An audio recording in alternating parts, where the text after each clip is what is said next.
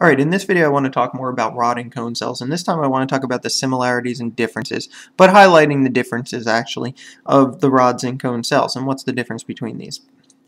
So, first of all, rod cells are capable of functioning in less intense light. Okay, the rod cells are what allow you to see at night, essentially. They allow you to see under low light conditions.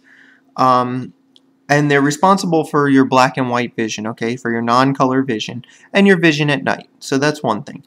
The cone cells require much more intense light to function, okay? So in order for a cone cell to be stimulated, you need more intense light, okay? That's something that's not required for um, rod cells. So you need more intense light for it to function, and it's responsible for your color vision and vision during the daylight hours.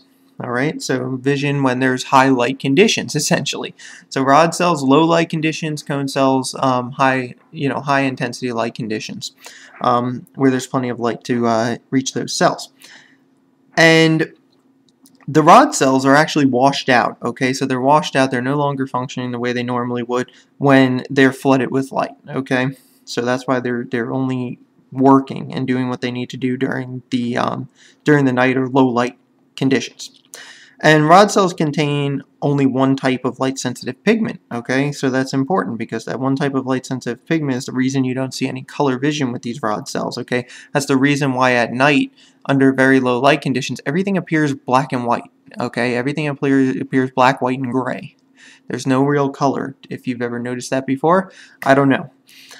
Um, so it only contains one type of light-sensitive pigment, and the cone cells contain three types of light-sensitive pigments. Okay, and the and that is the pretty much the reason why you're able to see color vision because you have these three different light-sensitive pigments, and it helps you to distinguish the different between the different colors.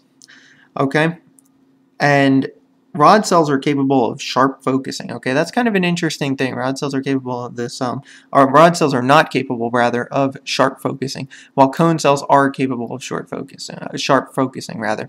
And what the interesting thing really is, is that these rod cells are really good at sensing motion. They're really good at motion detection. That might have been a really important skill in our evolutionary past, if you think for a second about, you know, at night, predators, um, not a lot of light, very low condition, low light condition. So, so, it kind of makes sense evolutionarily speaking that these rod cells are very good at sensing motion detection.